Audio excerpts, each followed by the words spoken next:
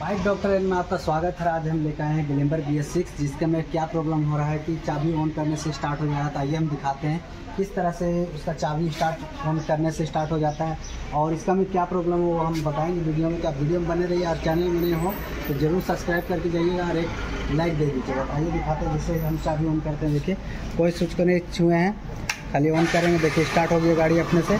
तो इस चीज़ को प्रॉब्लम को सॉल्व करना बहुत ज़्यादा ज़रूरी है। वाइजर खोलने क्या खोलेंगे? देखिए वाइजर खोल लेते हैं। लिए हमें पेचकस का यूज़ करना होगा। ऊपर का दो नट होता है दोनों स्क्रू खोल चुके हैं हम नीचे का खोलना है।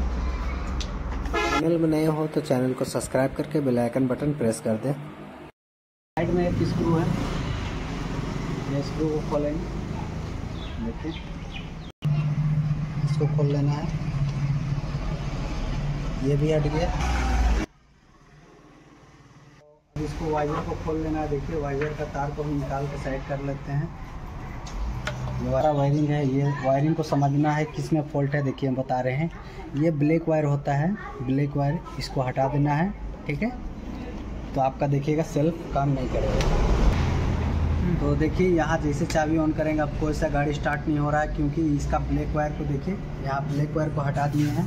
तो इसका मतलब ये होता है कि ये जो स्विच होता है आई थ्री एस स्विच जिसको कहते हैं ऑन ऑफ़ ये ख़राब हो चुका है तो इसी को आज हम चेंज करने वाले हैं।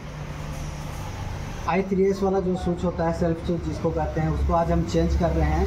देखिए, ये स्विच है। स्विच का कनेक्शन तो लगा दे रहे हैं। ये स्विच का चाबी ऑफ़ है, अभी ऑन कर रहे हैं। किसी तरह का स्टार्टिंग नहीं हुआ। अब क्या करना है सेल्फ चाबी है तब गाड़ी स्टार्ट होगा। तो ये कंप्लीट बन गया है। चाबी ऑन करने से किसी तरह का स्टार्टिंग प्रॉब्लम नहीं हो रहा, कि स्टार्ट हो जा रहा। है तो इससे ख़राबी था, मैंने इसको चेंज कर दिया। वीडियो को लाइक करके शेयर कर दीजिए।